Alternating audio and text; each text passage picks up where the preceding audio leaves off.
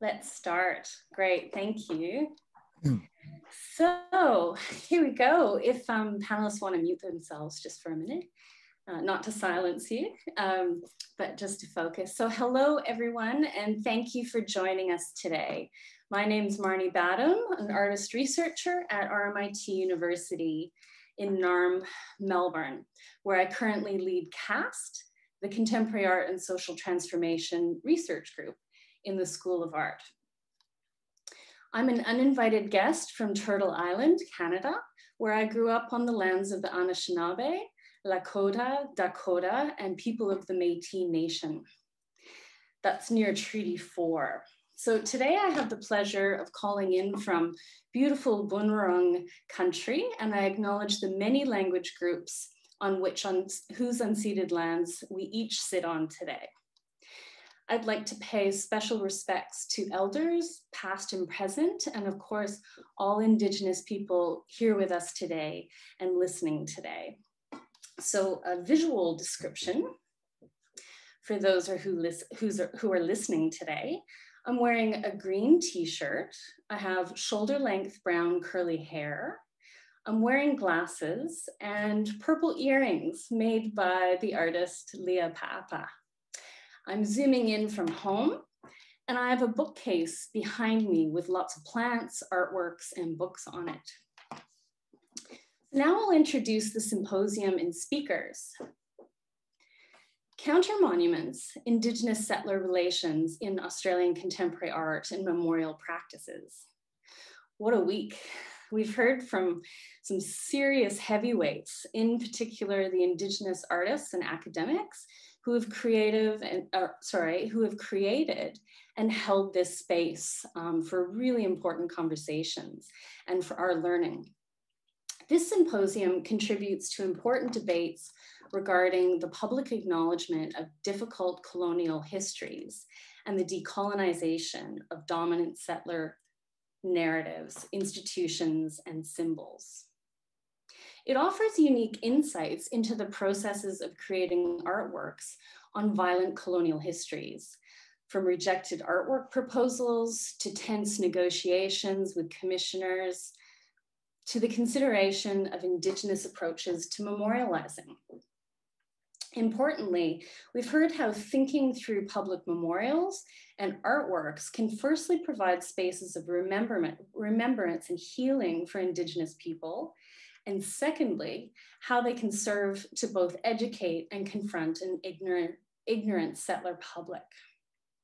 So in this third and final session of the symposium, we'll hear from the Unbound Collective on their sovereign acts of anti-memorial love, and Djon Mundine on remembering and forgetting, forgiveness and not forgetting, we're sorry to announce that Nika Lehman and Maddie Clark are unable to present today, um, but sending lots of love to them if they're listening.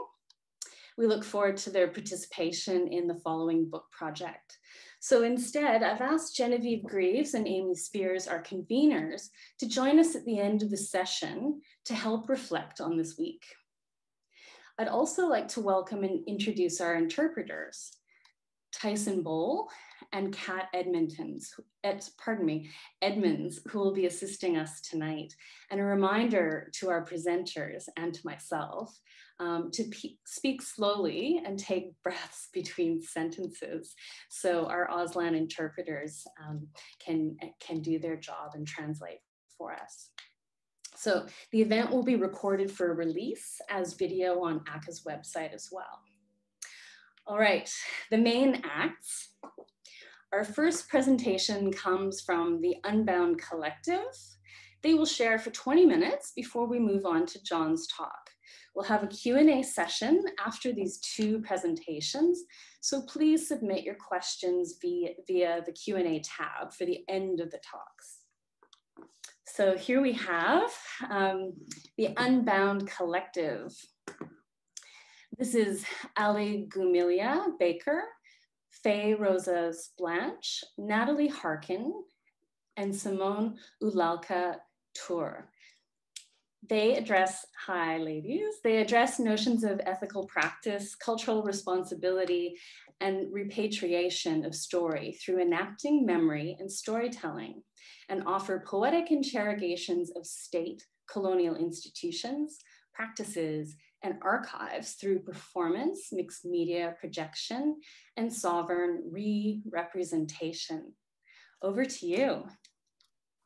Hi, everybody. Hi, everyone. Hi, everyone. Hi. We've had a few um, technical issues, so we have a beautiful PowerPoint, but we're going to have to describe it to you.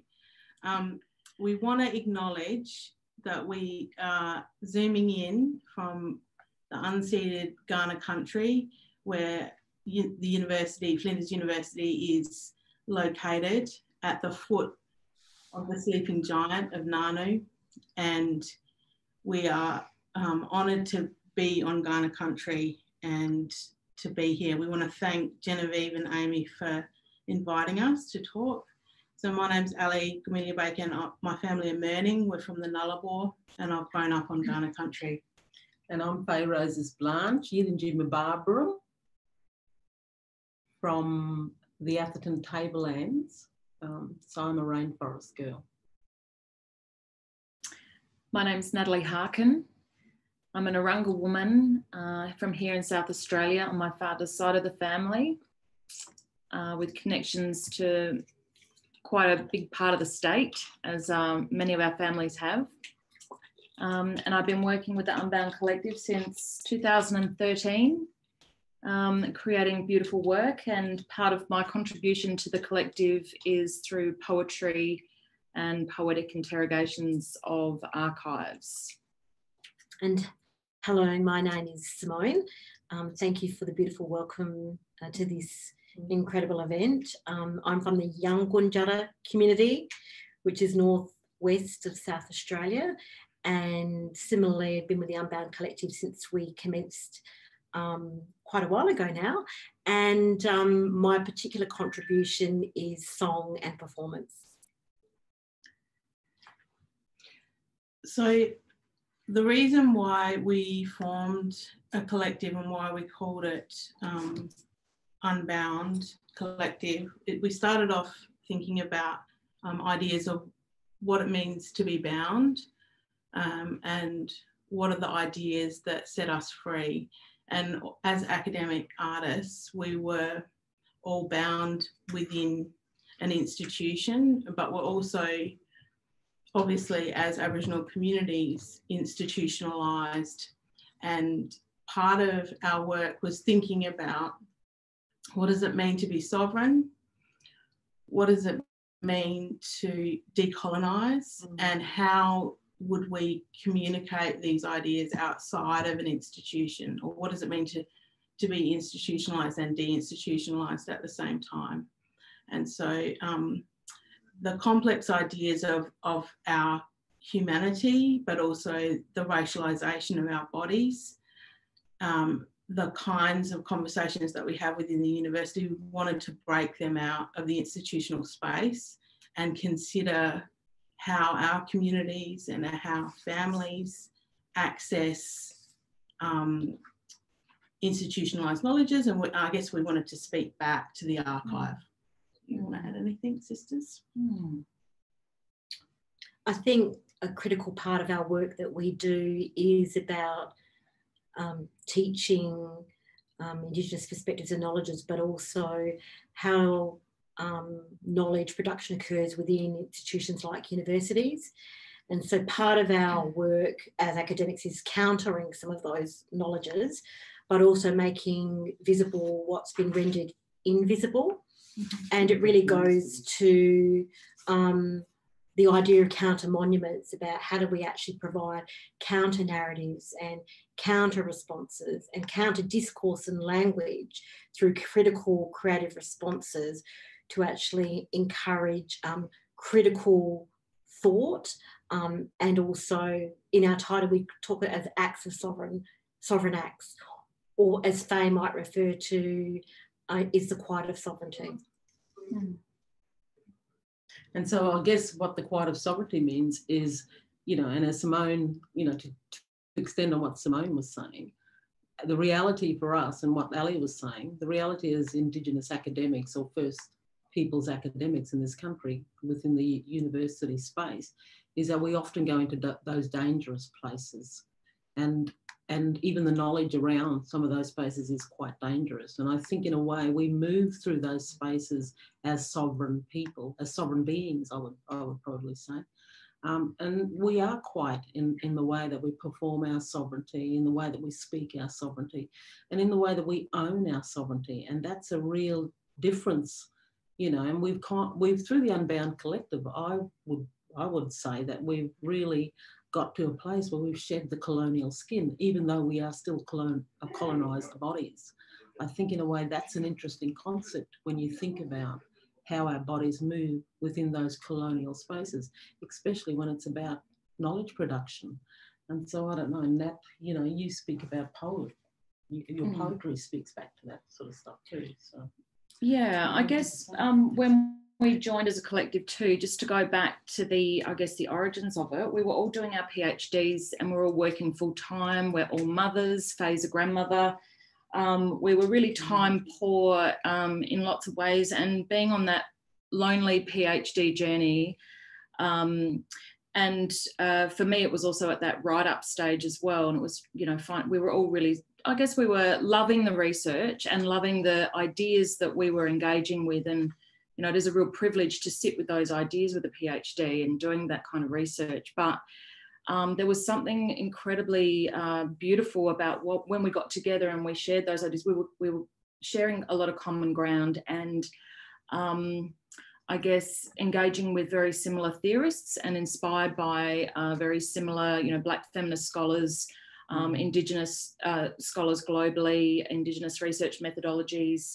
Um, and that critical creative practice that uh, we were also engaging in as, as individuals um, and then I guess, Ali, do you want to talk about what it was that brought us all together? Um, and then since that, we've done a series of sovereign acts, um, which we might then go into in a bit more detail. Yeah. Yeah. So I guess um, part of the performative aspect of the permanence of the colonial landscape in this colonial outpost of Adelaide, Tandanyanga, is the um, the kind of North Terrace precinct. So in 2015, we developed some experimental work in 2014, and we need to acknowledge, you know, artist run, run initiatives and um, Julie Gough, who was really, who mentored us in that initial stages of our um, work. Mm-hmm. And, I, mm. and in particular, I think we wanted to speak back to the South Australian Museum as a site in a very, very um, dense site of institutions. And it sits next to the South Australian State Library. And behind the museum sits the Armoury building, which has an incredibly violent colonial history, not only of the colonisers' army that were housed there in the early days of the colonisation of, of Kaurna country, but then as by the, owned by the museum as a site where um, our old people were brought and and our old people's bodies were taken from that site and exported all over the planet. So part of our counter monument or anti memorial is about our bodies surviving in this place mm. and being in between those institutions so our bodies in between buildings, thinking about projecting love poems and answering the call from the archive of our ancestors that are literally contained within those buildings. So we did an ephemeral thing. We, we projected light um, onto the State Library. We had films. We had quotes from each other of love poems things like she could not find yourself, her, she could not find herself in any of your books. Um, Faye's quote, I am no longer your shame. We were interested in the piling up of knowledge around us and how there's been an attempted erasure and exclusion, complete erasure and exclusion of our bodies in the space, and how we could honour um, our old people. So that was our intention, and we worked collectively um, with Kaurna elders and community, as well as with our colleagues here to really research that history and moved through it. And so we had um, costumes that we made that were made out of bark and wire and fantastic. oh, it's there. Oh, Oh, good. thank So you can all see it. So this is the State Library wall. Um, this is Faye's hands slapping the building. We made these dresses um, in Simone's mother's backyard um, on a trampoline around a campfire with our kids with paper mache with flour, sugar and tea mixed into the, the the bark and the, the chook wire that we wrapped ourselves in, and then we put lights in there. And we had these tiny mobile projectors. And it was so well received at Tarnanthi. We had 300 people around us, and Simone was singing her mother's, and I'll let her talk about that. But yeah, just it's, uh, it's lovely. We've got the photos there. So does any of you? Um, I can yarn, but let someone else. I think uh, one of the things we did a short doco also on just our our expressions of what it means to work as a collective as all Aboriginal women and artists and with community. Um, and one of the things that Nat talked to in her reflection was about repatriation of love. And a lot of the work we write about is about grounded in ideas of love and possibilities and those moments where you are free, even if it is for a moment. Um, and that really resonates in a lot of our work that we do in countering either the representation or actually providing a different narrative. So when our children's children see the archival record, um, through our creative responses, there is another archive and there's another record, and it very much goes to um, a lot of the work that Nat does in terms of archival poetics and um, all our work in terms of uh, the relationship we have, which is both compelling and violent at the same time in relation to um, the records. Hmm. Um, I Yeah. think too the this idea of counter monuments, uh, anti memorialism um, in terms of the colonial memorial sites that are um, that you know our our cultural precinct that Ali referred to along North Terrace with all those um, uh, buildings that pay homage to the Adelaide establishment and all of those key institutions of power that have represented and confined and categorised us and also held our archives and our and our bodies, as Ali said. But this also this idea for us about what the archive is. So we're we're responding and we're countering and we are attempting, well, we are interrogating the colonial archives, but we're also really honouring um, our embodied archive and what we bring to the space as Aboriginal women. Um, all of those stories that we carry with us in our blood, in our minds, and our hearts, the stories that we're taught, the stories that we maybe don't know, but we know that they are there. Um, and Toni Morrison theorises it around rememory, this idea of rememory, which kind of um, ties into ideas of haunting and haunt- hauntology, and haunting being a way of knowing and being in the world.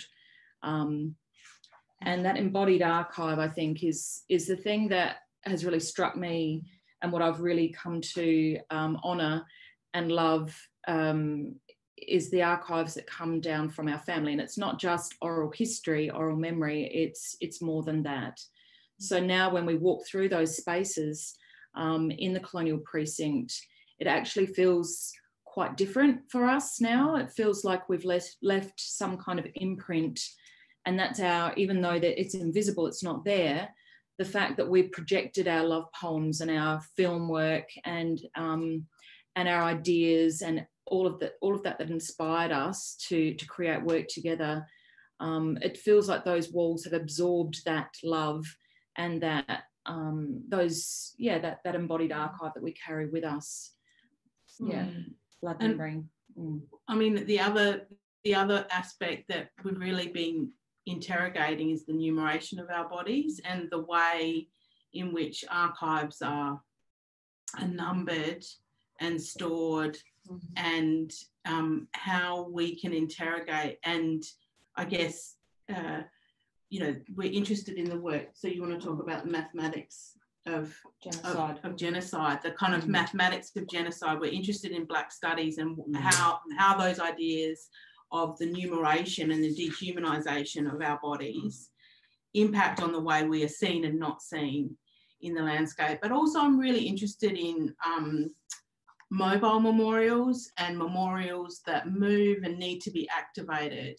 And you know, Kara Walker's done some really interesting work around like um, monuments to the ins- mobile monuments to the institutions of slavery, and her work, in particular, is calling into question those ideas of monuments to people that disappear because they become so normalized that people forget to see um, the la- where we are, and so um, we changed our relationship to those institutions of power that had sought to contain us.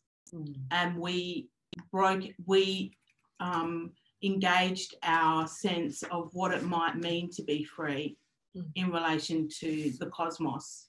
There's there was nothing between us and the stars. We were in between those buildings. And that while they have sought to contain us and kill us we we our ancestors and our children and our communities continue to defy that kind of monumentalism of us and that kind of quantification of our bodies Mm. through statistics, Mm. through um, uh, labeling us, through blood quantum, through um, measuring of our bodies and cutting up of our bodies, through all of those ways of, of dehumanization, we continue to be human in that space. If you want to scroll down, so oh, we can't control the PowerPoint, but if you go down to the bottom, see there's a fire there, um, just below that one. Yep, that one. And then the one um, below that, I'm just trying to, yeah. There's one of the armory building that might be really lovely. So this was, Uncle Lewis smoked the place and literally Adelaide was the you know, one of the nation's capitals of physical anthropology, the South Australian Museum, Adelaide University, the Royal Adelaide Hospital, engaged and still uh, in the process of, of um, I guess, reckoning with their own engagement with those histories. Um, and our critical response, we wanted to do it without permission, but we ended up asking permission. we ended up getting permission because we had a fire and there's always a big they can build Greco-Roman style tombs with columns on on Aboriginal land, but they have a conniption if you want to put a fire on a piece of grass, um, because you know that involves about a million emails to get permission. But anyway, so these ideas um, are activated and um, our bodies move through the landscape. Do you want to talk about that, Faye? Hey? I think the um the exhibition, which you won't see in this particular catalogue that's been shown, that we did in um, in Sydney at the New South Wales Art Gallery, was a um, a quite incredible experience in the sense that we actually entered into the New South Wales Art Gallery um, with uh, our sovereign projections again, projecting messages um, and responses to you know the the archive and in this this sense some incredible visual you know paintings colonial paintings. the colonial paintings Ali was just beside us she just loved it and in that particular um, area which actually was on top of where the, the primitive archives used to be in the in the um, art gallery um, we actually sang projected images and were uh, um, welcomed very beautifully by the Gadigal community um, who supported us through that process. Um, and as part of that um, performance, we actually made our own um, Aboriginal activist banners. Um, and so it was a, about a site of activism in a place where you don't usually see activism, but through a very gentle um, approach and through um, singing. And so there's a big Captain Cook um, statue by a Māori uh, artist, and we had his name here a minute ago. Michael um, Parekowhai. Parekowhai. Parekowhai. Sorry. Um, and so I sang to that particular um, statue, which is, you know, it's massive. And so just singing to this statue Mm. um, about our um, expressions of colonialism and the violence of colonialism as well. Mm. Do you want to just keep scrolling through some of those images um, and then we can, uh, so the next one down from that one. So keep going. Down further. So they're the, some of the so- sovereign, um, so at the same time as we were performing at the state, at- behind the State Library, behind the South Australian Museum, we also had 10 bus stops and Faye and Simone were the um, incredible Poster girls. poster girls and we're very nervous about putting our sovereign love poems out into the public. So we picked areas where we thought our communities might be and we spoke back to ideas of place um, and Mm. what it means to wait, what it Mm. means. Uh, Aboriginal people are very Mm. patient, aren't we? and we're also very generous. Um, yeah. And I think that's what was really quite exciting about putting up, you know, Simone and I being the poster girls, really. I think it was always, I, I think, um, you know, the main thing about this also was it was at a time when both Simone and I was teaching. And so we would we were teaching like 500 pre-service teachers. And what happened often would be over that time frame would be the students would come up with us and tell us that they saw us. Um, and that was on those posters. So that was quite an exciting thing. So when we talk about wanting love and when we talk about our bodies as, colo- as colonized and shedding the colonial skin, I think what's also really interesting is the idea of hope. Mm. And I have had students come up to me and say to me, I really love the fact that when you're teaching us, you're actually talking about, you- you're leaving us with a hope and not a feeling of guilt. So it's a different kind of, um, it's a flipping of the, the script, I think, which is really, really good um, in this kind of instance. but it's also that critical that idea of Critical. love so when- it's not the warm fuzzy sunset love eh? it's the um it's the kind of let's go into the guts of what is Yeah. the trauma here Yeah. and think about love in that place because ultimately that's Mm. what makes us human Yeah. so and I think yeah. also with the bus shelters, there were 10 bus shelters which were in in around um, the Adelaide CBD and, oh, and, and also Glenelg and Port Adelaide. And um, with the bus shelters, so you can see the, the love poems there. And we did a bit of theorising around the bus shelters about what happens in those places in Mm. that in that place of the hold when you're waiting Mm. and those really quiet times where you know so much can happen in that time when you're just waiting uh, for public transport. Um, and so that idea of having a QR code to link up all of the poetry and to very lovingly remind people that they're on Kaurna country was something that was really important for us because it is about that invisibility of um, of uh, Kaurna presence, Kaurna, Kaurna awareness and knowledge that it's even Kaurna country. So many people don't even know Mm. that they're on. They they might think, oh, we're on Aboriginal land, or they might not. They might ignore it completely. But to have that loving reminder through poetry that you are on Kaurna land, and then if they're, you know, to spark their interest. Um, I don't know how many people actually got onto the QR codes, but it's it would have been a really interesting exercise actually to do some research about who clicked on and how they engaged with those public sites of activism, memorialism, and that deep honouring of country in in those unique ways. Yeah. So we we might need to be told to get off because we could t- we're all professional lecturers. We could talk, we talk and talk. So But we um, did send a PowerPoint. I know too, we've only got 20 minutes. So let's um Oh, us we've got get- the other you've got- yeah, PowerPoint. yeah, Yeah, Oh, okay. go down to So the go camera. down to the black and white ones at the bottom and click. Uh, yeah, Uh, so one this up. was one and up, one down, one down, one down. one down. Next Yeah. one. Yay, Yeah. thank you. So this was in the Art Gallery of New South Wales, and we projected onto the canon of Australian art, onto all the lost uh, pioneers, onto the uh, sheep farmers, onto the shearers, onto all of those Heidelberg mob.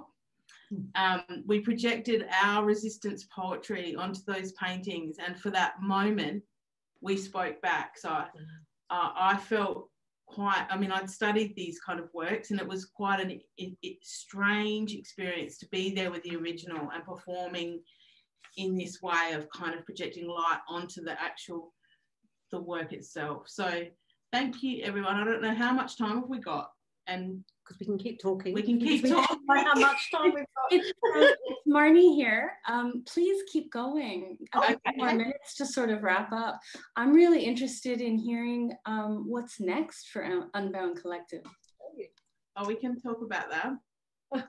So um, we've currently got a commission from Mod to do some video work, so Museum of Design in Adelaide to do a um, video, a series of video works for um, the Karrawirra Parri, which is the also the Torrens River, called the Torrens River, and Karrawirra Parri and um, Natalie, do you want to talk about Tarnanthi? So if you go down, actually on that very bottom link of the PowerPoint, you'll see some shadow works. We're doing these kind of, it feels quite epic, the epic backdrop to all of our lives. Um, so as Aboriginal people, I think most of us have a domestic service indentured labour his, indentured labour history, which is not um, part of the wider narrative of South Australia's history, our um, Aboriginal history, or our uh, labour history, our women's studies history, um, etc.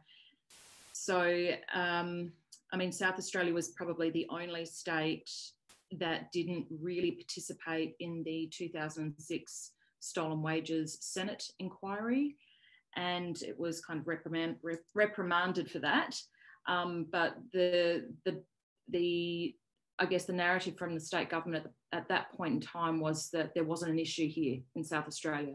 But we all know from our own stories that uh, wages were withheld, or they were put into trust funds, or they weren't um, honoured, or people just, you know, our women were um, indentured and forced to, um, for you know, to do labour for free. So we have these domestic service stories, and part of Tarnanthi uh, exhibition in October this year. Um, we're doing a exhibition. I'm doing an exhibition and working with the Unbound Collective, and we've done these beautiful little films. Um, and it's uh, Apron Sorrow Sovereignty is the title of the exhibition. And uh, currently working with community now to document some memory stories to get some of those really critical, important histories on the record. Um, so yeah, I don't know if anybody Yeah. else wants to speak about that. And also, I'll just tell you that the image behind is called Sovereign Goddess, Not Domestic. And it's also an honouring of, um, you know, family history where you can see that there is, there's been, um, in my family, my nana's older sister Mm. worked for 40 years without a wage for the policeman in Norwood in Adelaide. And when I found that on the archive, I felt like I was on fire with, with rage for the intergenerational impacts of those domestic labour histories that Natalie's been talking about, the intergenerational impacts on our communities, on our um, economic, health, and trauma related um, stories, and the fact that we know that so many of the broader community know nothing about. And so we still have the Prime Minister coming out and saying there's no slavery in this country. And we know that um, our people have been forced to work and were, So bu- it's fun. were cleaning people's houses while they were removing our children. And um, there's so much reckoning that needs to be done in relation to those histories. And Natalie's work is really important. And these oral histories are really important. Mm.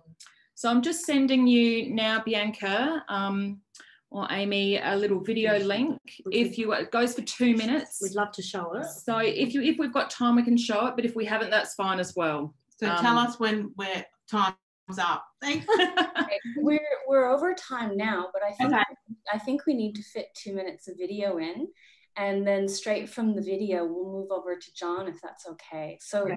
thank, So you, thank you so Video- much, Unbound video, if you can just make sure that the sound is up, if just for everybody who's watching, um, put the sound up. And um, because the soundscape is really subtle, um, we work with an amazing editor, Jessica Wallace, and she's put together an incredible soundscape with our input. And um, but it's quite subtle, so up the volume if you can. um, Great. Have you got that, Bianca, to help us? Thank you. Maybe not. There we go. Great. Thank you. Thank Turn you. the volume up, everyone. And we'll see you in two minutes.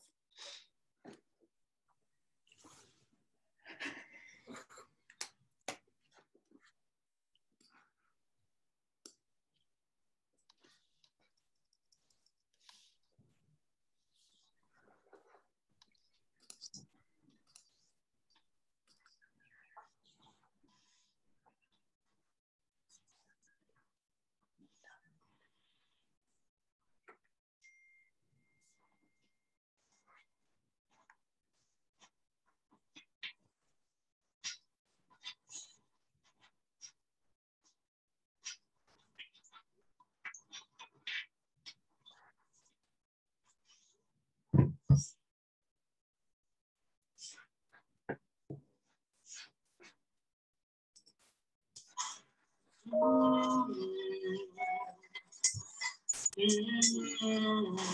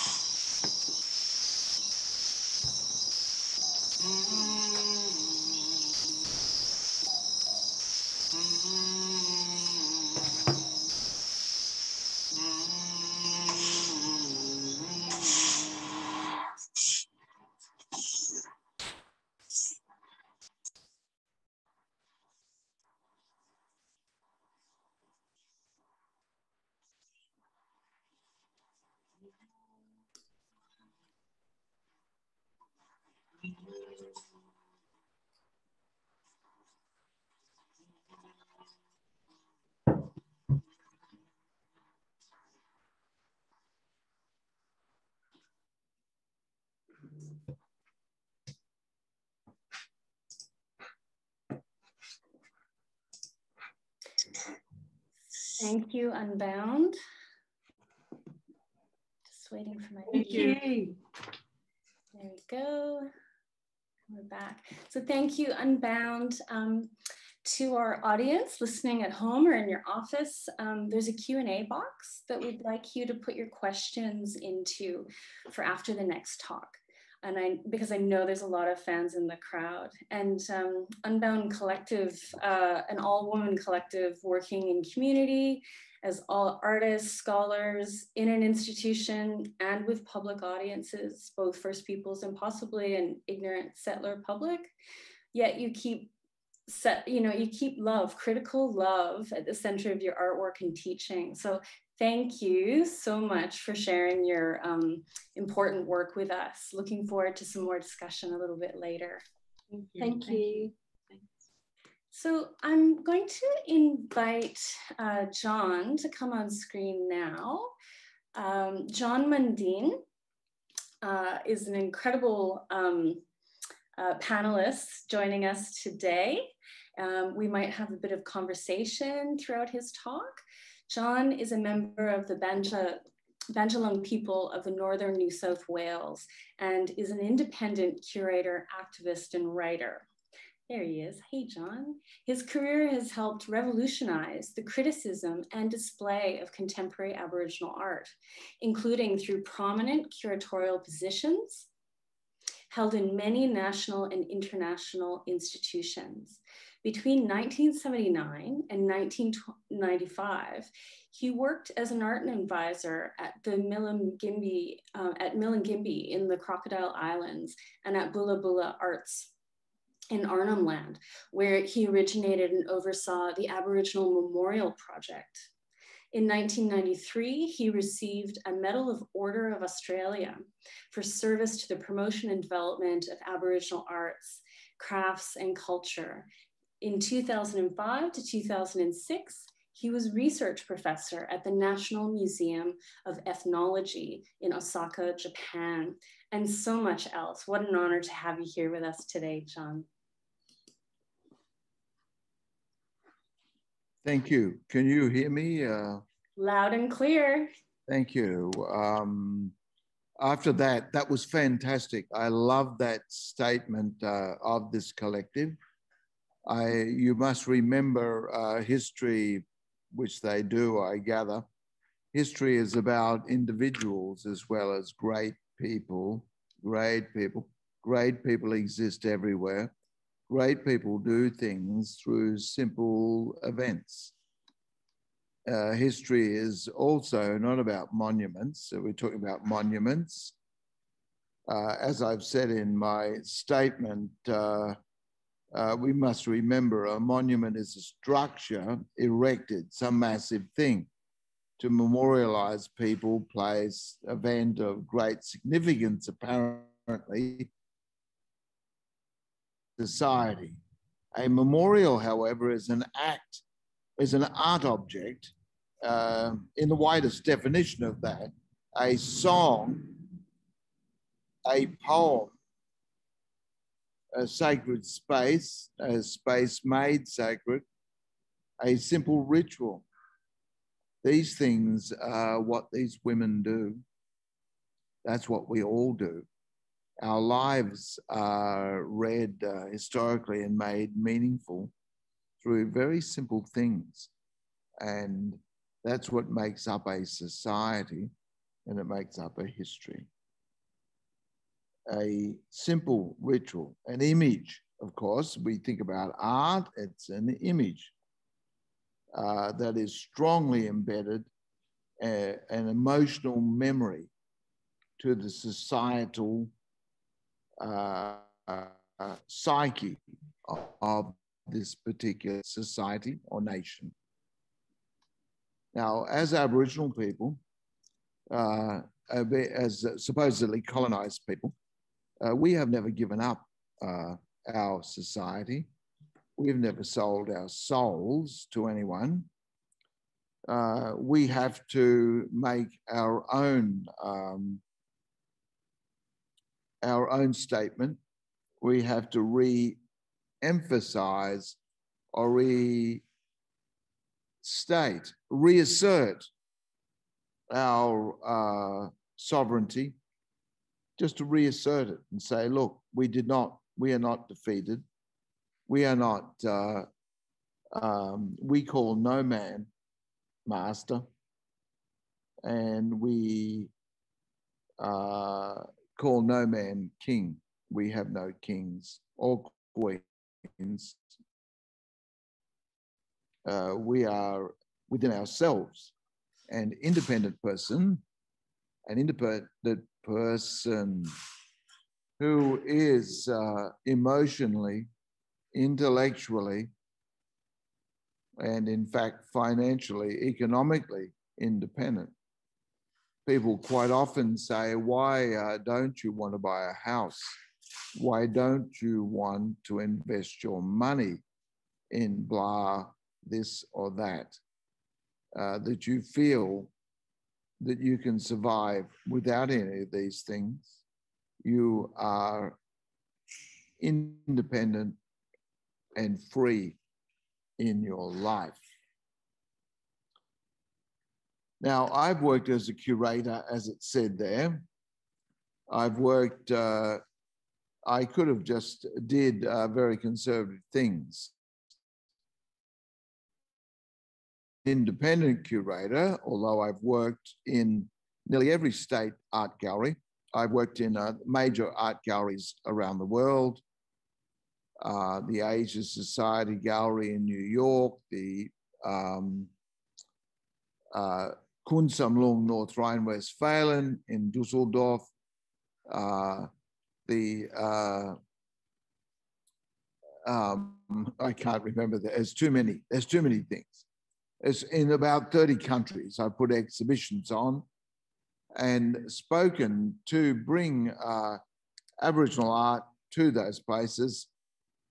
And uh, through a process of trying to open up ideas of what is memory, what is art, uh, because art, all art, is supposed to engender or make a, an emotional, a visual, uh, visual emotional response. And a visual emotional response is means that you look at something, you see it, and you are automatically, unconditionally moved emotionally from that uh, space. So uh, uh, an art object, a, a, memorial is an art object in the widest definition. It is a, a memorial is an art object in the widest definition. It could be a song, a poem, a sacred space or a space made sacred, a simple spiritual ritual, an image that you see a strong that is strongly embedded uh, embeds an emotional memory into the societal psyche, into our hearts. It's something carried in the eye in your mind. It is something that comes from the mind, from the intellect. It could be something that brings automatically, without any thinking, brings out a sorrow or a joy uh, from remembering of uh, members of that society. Now, monuments, as we know them, are generally erected by the victors, by the dominant group in that society.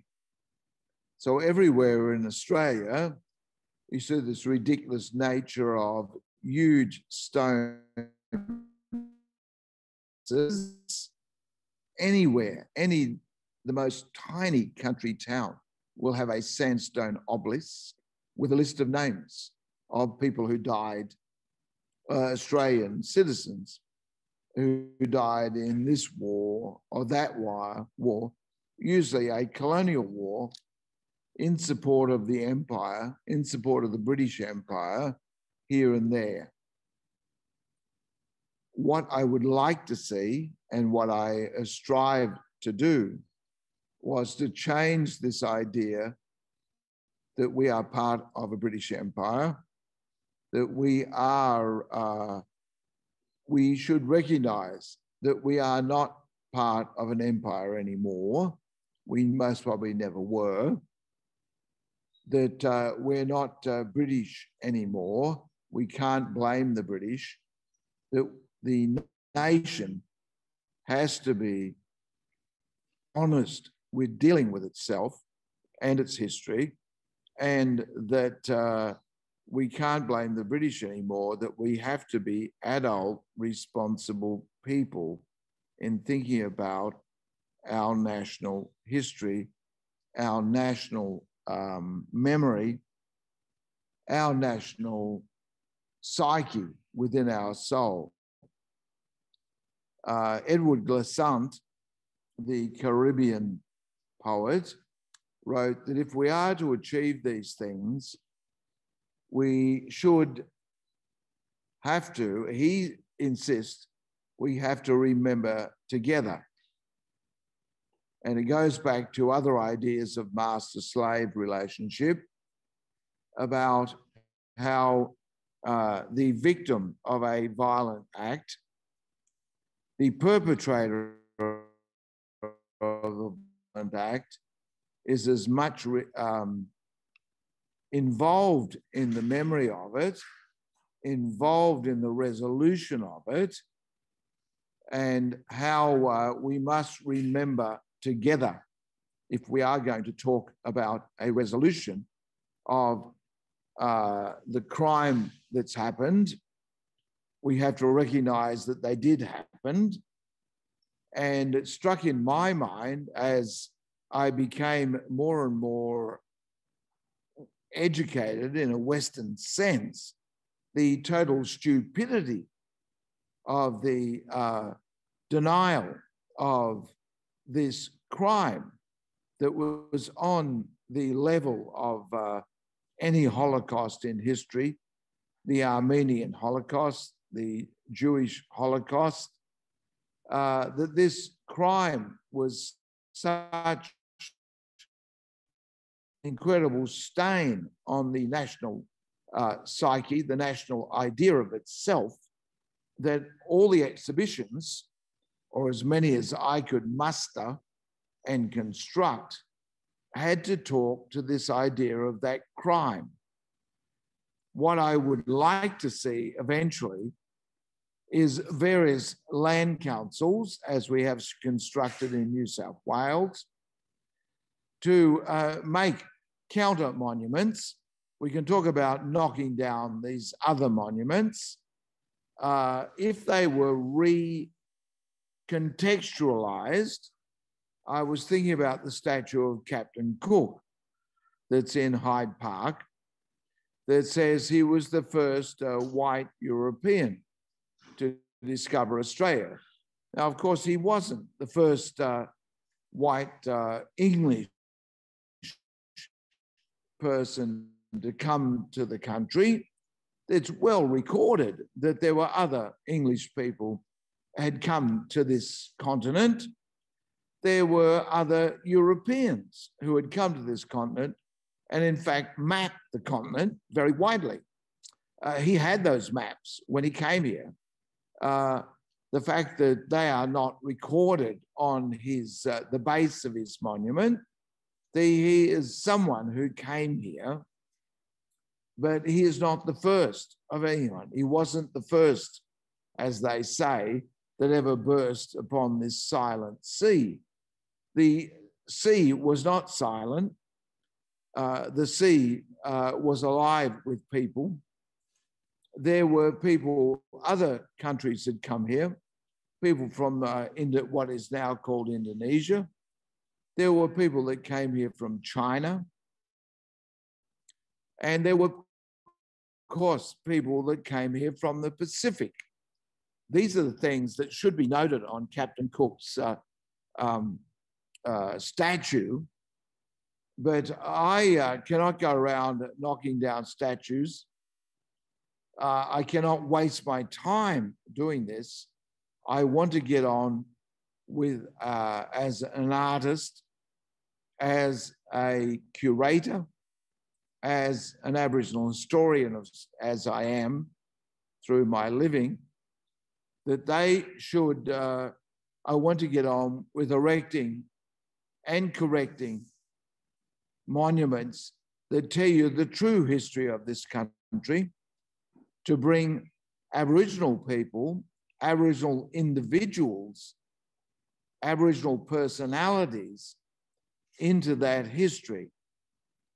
So, all in my work, I've tried to put excerpts together that uh, personalized all the Aboriginal artists who were uh, not mentioned in the records, all the Aboriginal artists that were diminished as individuals, as human beings, as intellectual human beings with particular personalities and lives and society and socialized uh, personalities that they had personalities how would they be seen to have acted against uh, the colonization that happened.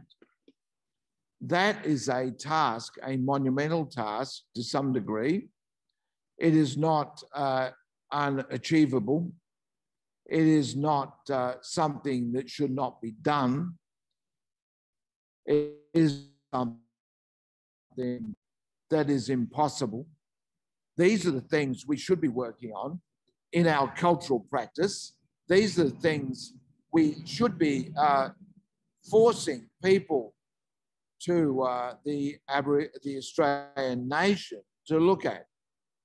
In my study of how art was perceived, how cultural expression was perceived within Australia, uh, in what they call the Australian nation now, um, how that was perceived, it seemed to me that just about every decade, uh, at least, if not every generation, people came to be to see that there were there was another history, that there was uh, a crime committed. We talk about massacres, etc. I refuse to use the word massacre anymore. Uh, I want to use the word murders. There were murders. Massacres sort of diminishes the intent of the, uh, the event, of the act. It also reduces uh, the individual nature of people responsible. Murders are committed by individuals on other individuals. So I need to forget about massacres. Uh, they happen in the United States every five minutes, according to the legal definition of uh, something about four people. If more than four people are murdered uh, in one event, that's called a massacre. Now, we know uh, massacres uh, occurred in uh, tens of thousands of people within our nation. Uh, they are families uh, to all of us. My friend Jacqui Katona, in her statement of welcome to country, as we might say, that she would make, she would say, I would like to acknowledge all the people of this land, of this place, their deaths and their problems are my problems. Uh, they are my uh, disasters. They are my problems to solve. They are the problems of all Aboriginal people. They are problems of all the national society, the national psyche. As I was beginning to say, uh, every decade, it seems uh, the Australian uh, nation is uh, almost comes to a recognition of the terrible history of this country. They almost come to feel a guilt, but they also feel that something needs to be done, a reconciliation, as we've, uh, as a government department that's been set up about reconciling these things. Uh, they come to almost reach this point of passing legislation. They almost come to a point of putting this into the schools so that every school child will know this of whatever creed, color of religion, will know this and uh, be embedded with this and grow up knowing this crime. This crime has happened, that they will then uh, grow up and move in the next generation to uh, make amends, to do something, uh, not only in monetary terms or legislation, so that people like myself or the people who spoke before me, that other people can actually really feel something has been accepted by them.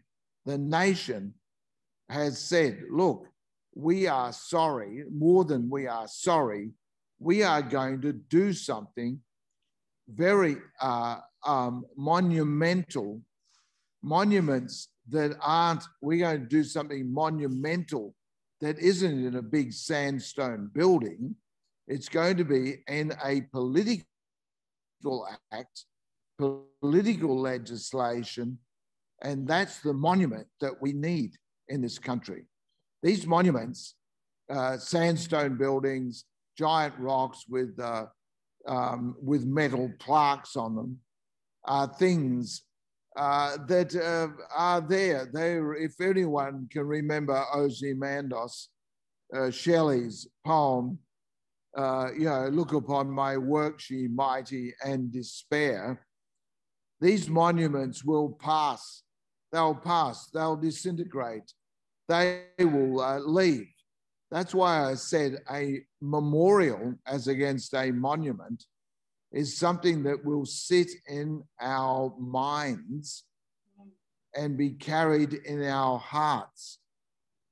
Uh, these things, uh, true cultural things, are things that uh, become a cultural practice,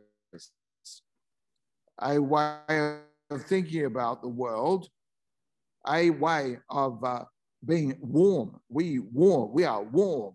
We are happy. We have joy because we know we have done something special. We have recognized other people to be human. Aboriginal people of all different groups have lived on this continent that uh, every year uh, has tens of thousands of years added to it 20,000, 30,000, 50,000, etc. The thing uh, that has allowed us to remain on this continent and thrive in what's called the greatest desert in the world and all this sort of crap. Uh, it's actually a very rich environment, a very rich, uh, thriving uh, environment. And we have lived here. Our antecedents, our ancestors have lived here for thousands of years, tens of thousands, hundreds of thousands of years. How have we done that? Why haven't we uh, succumbed to murdering each other, to killing each other? The thing that we've learned is how to live with each other. Now, I work in art, uh, visual art. And, uh, and, uh, tied to that, of course, you can't have visual art without performance art, sonic, singing, dancing, use of space to move people to feel, to become emotional, to become emotional about that space, to become emotional about all spaces on the continent, to become emotional about all other people on the continent the true art of uh, Aboriginal art, the true art of Aboriginal society, which is why we were still alive in very large numbers when the British came here to set up a jail, really, was we had learnt the art of living with other people. We had a number of societies set up a number of societal structures set up within our uh, way of living that allowed us to live with each other without mass murders of each other. There war, were wars against different groups. Different tribal groups had massive vendettas against other other groups. There were personalities that held vendettas against other personalities within society.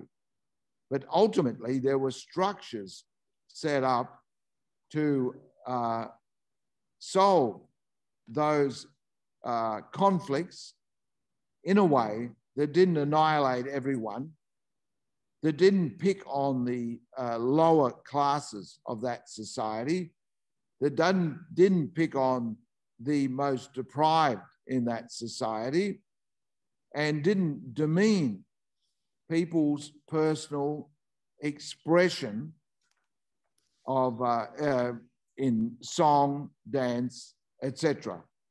Structures were set up that even the smallest groups within that society, the would apparently be the most simple-minded in that society, still had to be included in any ritual.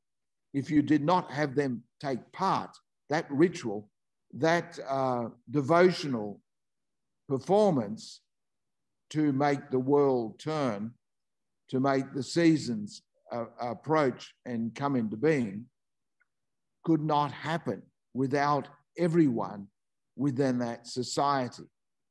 This is something I noticed, I observed, and I noticed, I observed in my limited uh, time of living in very traditional living and speaking uh, societies uh, where there were no monuments, there were no giant uh, erections of uh, sandstone and granite anywhere.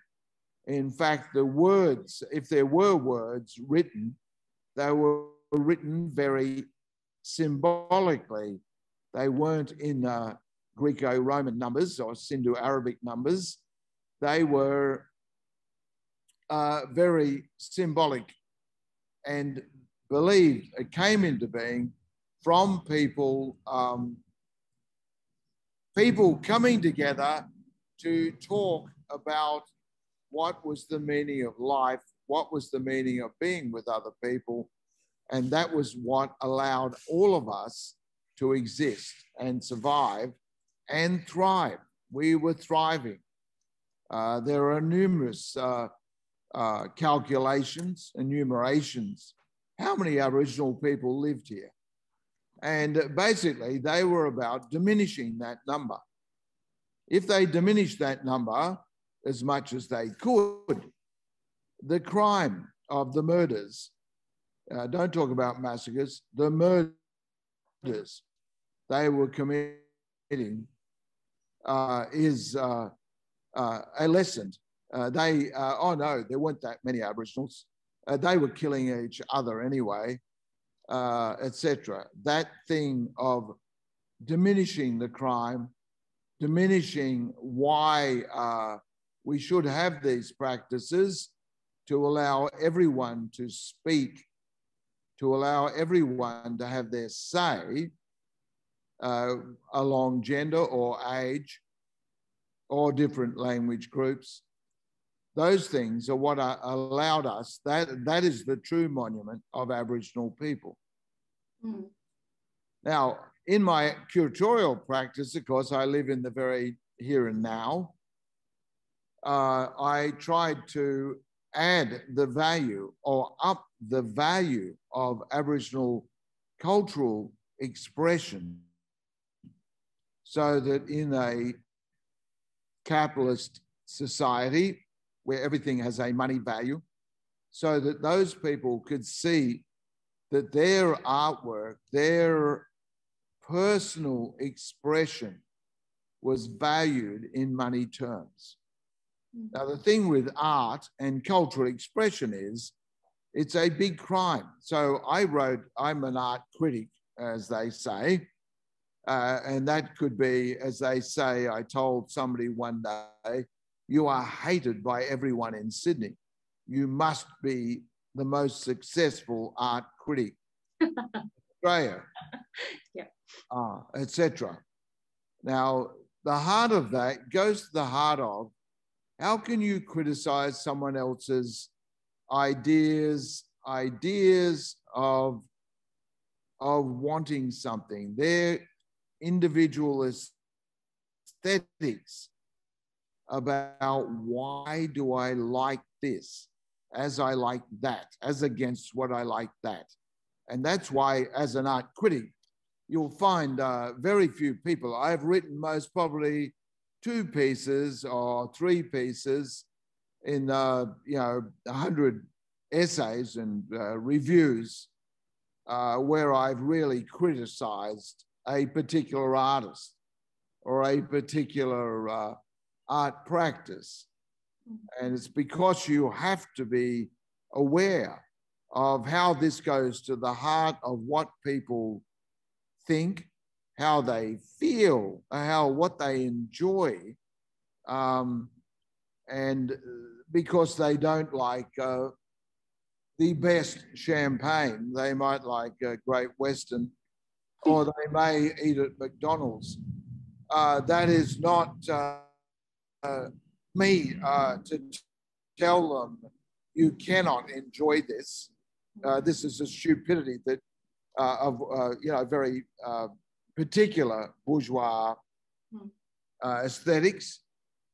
Djon, go on. Sorry, am I finished now? Oh, we're really enjoying your talk, though, is the thing. Um, and we're going to really enjoy reading it as well. But we'll give you a chance to have a sip of water.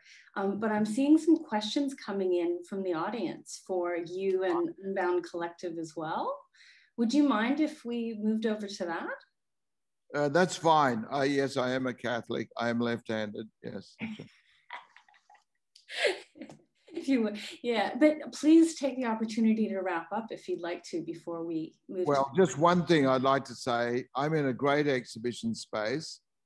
Uh, someone asked me uh, about how would the Aboriginal art, the National Aboriginal Art Museum look like, or art, contemporary art gallery what would it look like? And I said, I just want a giant bare box. I'm now in uh, the commercial gallery in Sydney, in uh, Marrickville, which is a giant cube square empty box. It allows the artwork, which you may not be able to see behind me, uh, which is one of the artists, Aboriginal artists in Australia, uh, Archie Moore that I've worked with for 10 years. We can see it. It's gorgeous. Yeah. And this work behind me is called The Family Tree or My Family Tree. I've seen three uh, versions of this one in Queensland, one at the, uh, Univer- the University of New South Wales, and this current version. And it's where Archie has went back and uh, built a constructed his own version of his own family tree, as against a traditional bureaucratic uh, anthropological family tree. And he's now filled in the boxes to find himself. Another kind of archive um, in the way that Unbound was talking about different yes. embodied types of archives. I might take a moment to thank you very much, Djon, for your incredible presentation um, following the incredible presentation, everybody's clapping for you, of, of Unbound Collective. And I've got a couple of questions, and we've also got our conveners here who are going to help us wrap up. I thought we'd have lots of time. I'm really sorry, we're not going to. But no, I'm going to jump. I'm going to jump to um, one question from the audience. And um, while I'm asking that, also panelists, think of questions or conversations amongst yourselves as well. Okay, so I'm going to start with a question to Unbound Collective, which actually came from Jen and Amy. Do you agree that colonial monuments, memorials, sites are irredeemable, irredeemable, or can they be transformed through interventions to be of value to our society? Just as you're thinking about that, I've been listening all week and hearing these um, um, sort of different comments as uh, and, and ways of thinking about this work, as Djon also talked about artworks, monuments, memorials, legislation, live culture. So, you know, is and, and and thinking about the different publics, you know, the trying to educate and confront um, more ignorant settler publics or as a site of remembrance and healing for Indigenous people. So, in that question from Jen and Amy, it's how can this work, monuments and memorials, um, uh, be transformed? Or are they, in fact, irredeemable? Thanks, Unbound. Thank you. Um, Good question. it's a really good question. Um, we we're just talking about whispering. Um, so um, I think they're both in a way. They're irredeemable and transformative. They potentially can be activated to be transformative. Um, I I exhibited at ACCA um, eight meters of racist text in a single stack. And one of the issues that I had with these racist texts was that they were being thrown out of the libraries, put into special collections, locked away because they're offensive. You wouldn't happen upon the racist texts as you were cruising through the library. You had to go and search them out. And they're being thrown away from people's bookshelves because people don't want to look in the eye their very recent history. But so, in a way, monuments are like those racist texts as well. You know, we can't we we, we can't um, erase that. The traces of that are very much in the present, but we can change our relationship to those monuments. And we certainly need to um, interrogate them, to challenge them, to shed light on the people who they're memorialising and what their values have been and whether those values are values that we consider to be important because mm. a lot of these uh, Gunya um, memorials and the names of our suburbs and our streets and our buildings are people who were incredibly racist and, mm. and ordered the murdering of our people, as Djon would say, the murdering of. And, and it is because of those murders that we are living in this country. So, and let, and people want some truth around that and we deserve that. You want to add anything else? No. No, that's right. Thanks. Oh, thank you. And I might um, pass that same question over to Djon. So the question is about, you know, these colonial monuments and memorials or sites, are they irredeemable or can they be transformed through some sort of uh, intervention to be of value? Well, everything uh, can be uh, reinterpreted and everything, uh, uh, everything exists in its time. So uh, the thing of, I remember being in St. Petersburg and uh, being taken to a number of really massive cathedrals uh, full of gold. Oh, it was unbelievable the money that was the luxury, luxury of these places. And we asked them, well, why did, after the revolution, why didn't you pull this down? Why didn't you? This is ridiculous. How did this still here? And they said, we kept them here to take school children to say this is the capitalist, the upper classes, uh, the religious upper classes, how they robbed us. They robbed the common people of uh, all of this. They live like this, and we starved outside. Mm. They used them in that context. So that's how they can be used. And as I said with the Captain Cook story, just tell the real story of what happened about him. Uh, don't he's not the hero, uh, well, etc. Whatever he was, uh, and just set out to put your own memorials up. Those memorialize your family, your friends, all those murders. They're people like my time. I think about it now. They're people that I knew. Or they're almost people I knew. There were three people who died in jail. They were black deaths in custody. Three people this week. Mm. This week. They're still killing us. They're still murdering us.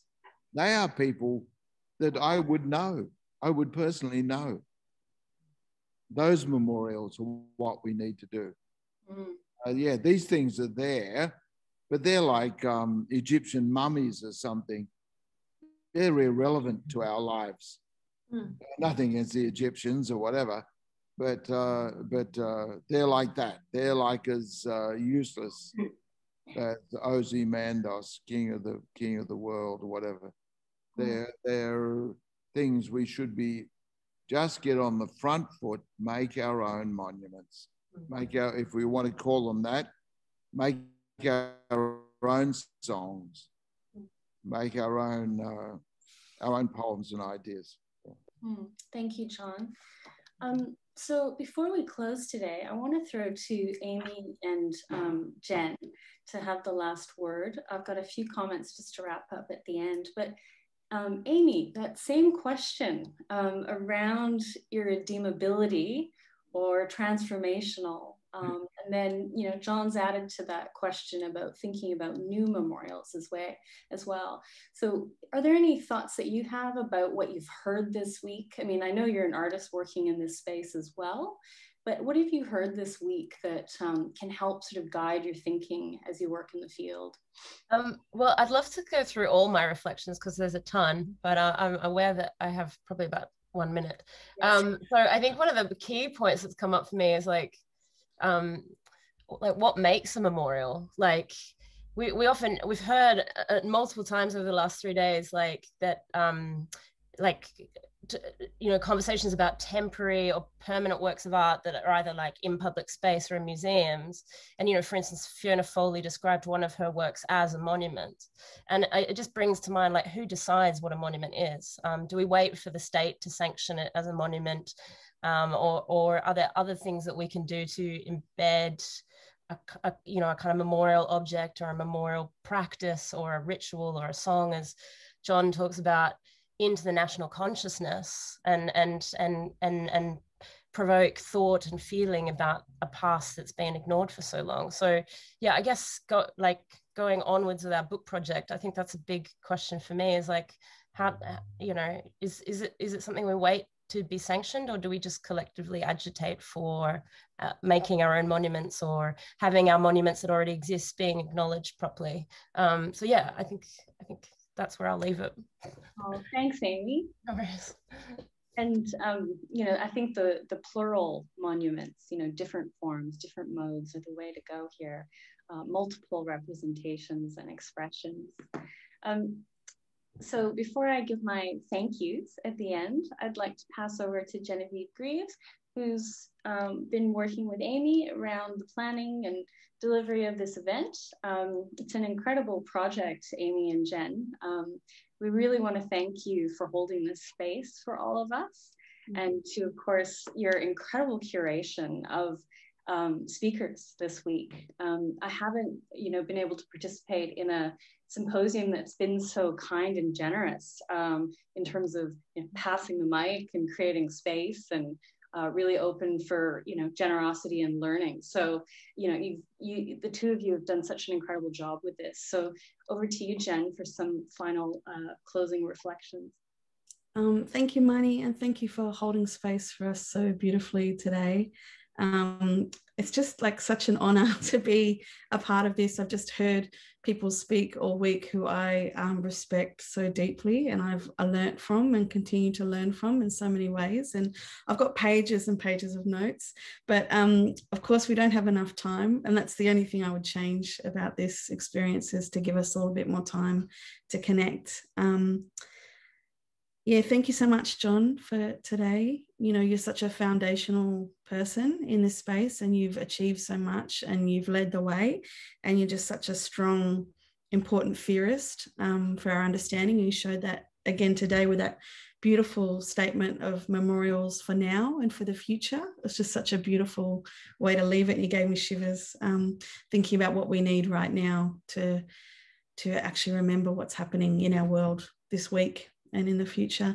And the Unbound Collective, I could listen to you all day. Um, you just bring so much strength and wisdom.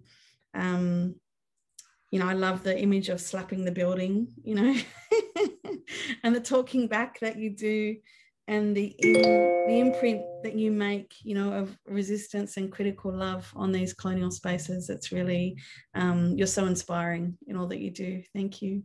But we started the week with um, Julie saying, Am I a memorial? You know, it was, which was just such a profound statement for me to hear. And of course, Julie's also such a foundational person in the space, as is, you know, everyone who was speaking. Um, I learned so much this week. I have so much to go away and and ponder and um, just hearing all the authors talk to their work has given us such richness. Um, we've got so much to to carry on into this incredible book, which is um, so exciting. And and being with you all this week has just given um, that book, you know, a new life. And it was just so interesting to hear Julie say that a book itself is a monument, you know, and and write the book, but then pull it apart, you know, and scatter it everywhere and make your own mark. And that was um, you know another incredible moment from such a beautiful week. So thank you. I'm inspired and i'm full and um, i walk away with so much. Thank you all. Thanks jen amy djon and unbound. What an incredible day thank you to all the speakers contributors and everyone for joining us we'd also like to thank our interpreters today tyson and kat a quick note of care. Uh, I think we've all been filled up this week, but we've also been, you know, hearing some very bold, brave, and important stories. So I think, you know, it's important um, to give gratitude for what we've heard, but also to make some space around what we've heard and what we're thinking. Share it with our family, colleagues, um, as we start to try to make sense of, you know, Australia's violent and amnesic histories. In fact, um, not histories, current day, as Djon reminded us. So we'd like to thank Jen Grieves and Amy Spiers for organizing the symposium, the presenting partners, the Indigenous Settler Relations Collaboration at the University of Melbourne, the Contemporary Art and Social Transformation Research Group, CAST at RMIT University, and of course, Bianca behind the scenes, she's up in the corner named Aka, who uh, and the team at ACCA um, who have made it all happen in Melbourne, in Naarm. So the program was uh, delivered with the assistance from the Australian government through the Australia Council for the Arts. And last but not least, we want to thank all of the speakers across all three sessions for contributing to the program. Julie Gough, Clare Land, Paola Balla, Kate Golding, Fiona Foley, Carol Q, Joel Sherwood Spring, Dianne Jones, Odette Kelada, Lily Brown, Unbound Collective, and Djon Mundine. So thanks again, everyone, and um, please take good care.